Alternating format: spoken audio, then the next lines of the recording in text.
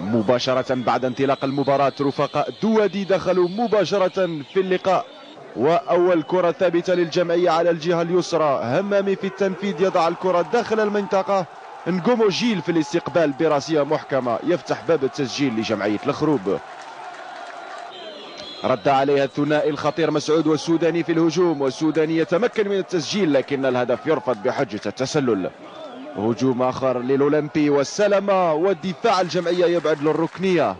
تنفذ والسي دي بي في مساحة ضيقة يقذف ويد المدافع الخروبي. تبعد الكرة. مسعود يتولى التنفيذ وبنجاح يعدل النتيجة.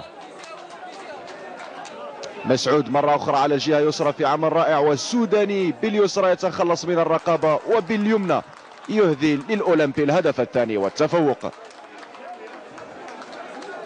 أولمبي شلف أكمل الشوط الأول بعشرة لاعبين بعد طرد المدافع غربي لتلقيه الكارت الأصفر الثاني.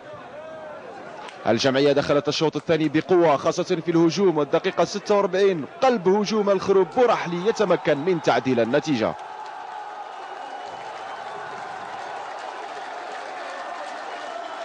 باقي مجريات اللقاء عرفت سيطرة شبه تامة للجمعية خاصة في وسط الميدان والهجوم لكن التسرع وعدم التركيز حرم الخروبيين من الوصول إلى المرمى.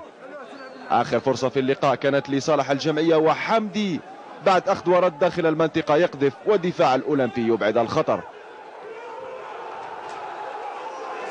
ونهاية اللقاء بالتعادل هدفين في كل شبكة.